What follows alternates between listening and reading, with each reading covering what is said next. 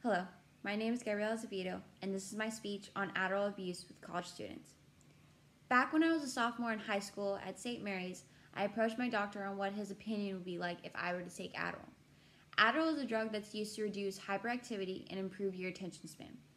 The reason why is because I am dyslexic and have ADD. Dyslexia is when someone has a difficulty time reading, such as reading quickly and automatically, where ADD means attention deficient disorder. It's when someone has a poor condition with paying attention, is very distractively, and has poor memories.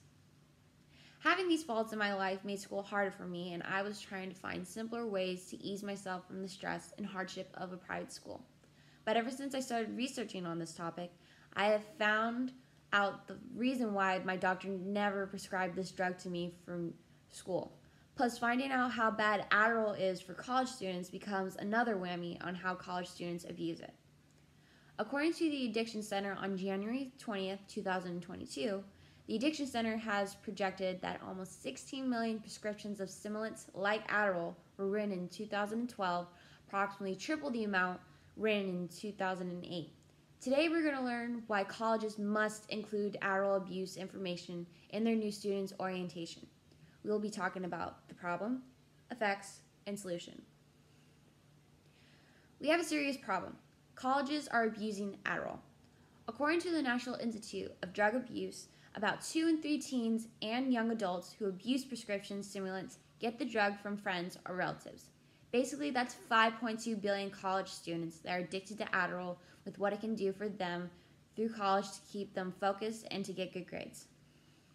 According to the Ohio Area Repeater Council, Inc., one main reason is that Adderall is most commonly prescribed to teenagers and young adults as the symptoms associated with ADHD are most noticeable in school environments.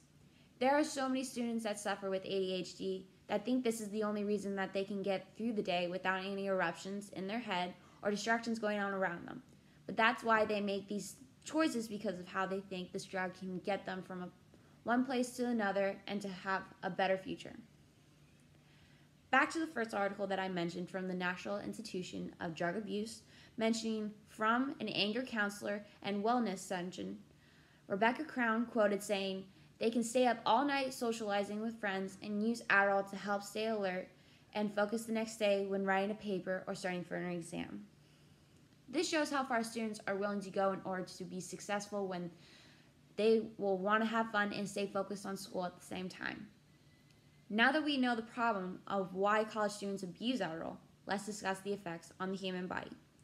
There are two major long term effects causing for physical and mental health issues. According to the Good RX Health, these include addictions, heart problems, mental health problems, and slow growth in children. There are many effects that happen to the body, but there are so many of them that would be so hard to explain them all. The main ones that really caught my eye the most on what Adderall can do to the body is cause seizures, hair loss, weight loss, high blood pressure, heart problems, and possible comas that lead to death. From the same article, addiction causes difficulties from relationships and responsibilities and your health. Addiction is the worst one when it comes to being physically and mentally strong.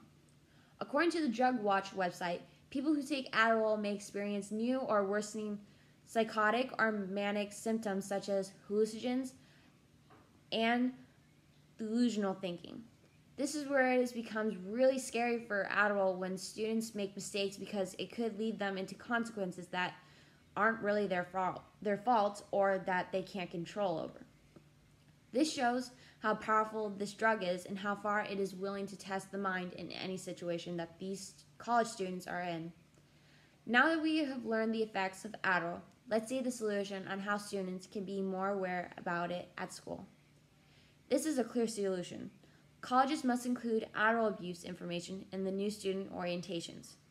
According to the West Post, during an average school year, a major local university typically will respond to hundreds of cases involving alcohol, dozens involving drugs, and only a handful at most involving prescription stimulants, according to a post analyst of statistics from area schools. This is a good start, but we need colleges to have an important talk at the beginning of the year to every new or returning students that need to go need to get this through their heads that they need to be careful when they take this drug or they will be severe consequences in the future. It's not only about school, but what's better for your body as well as your mind. According to the WebMD, which is a very accurate and credible site for U.S. health for Adderall abuse on college campuses, where everything you need to know, mentioning that if you're a busy college student, you may see Adderall as a convenient tool to improve your focus and achieve better grades, but the drug is far from harmless. This is where it's a great idea for college students when they welcome new students to talk about it in their orientations and to prepare them for what it is to come and for what it is to struggle and find more resourceful ways other than Adderall to be more successful in college. Today we have learned about colleges must include Adderall abuse information in their new student orientations. We talked about the problem, effects, and solutions. Remember, according to the Addiction Center, last access on January 20th, 2022, the Addiction Center has projected that almost 16 million prescriptions for stimulants like Adderall were written in 2012, approximately triple the amount written in 2008. Imagine what it is now in 2022. Ever since I have started research about more about Adderall as well as finally understanding why my main primary doctor preferred for me not to take it, has made me fully realize that I am very glad that I have not taken it to where I could have become one of the people who were developed habits where I could have had addictions just like everyone else that has become a victim to Adderall.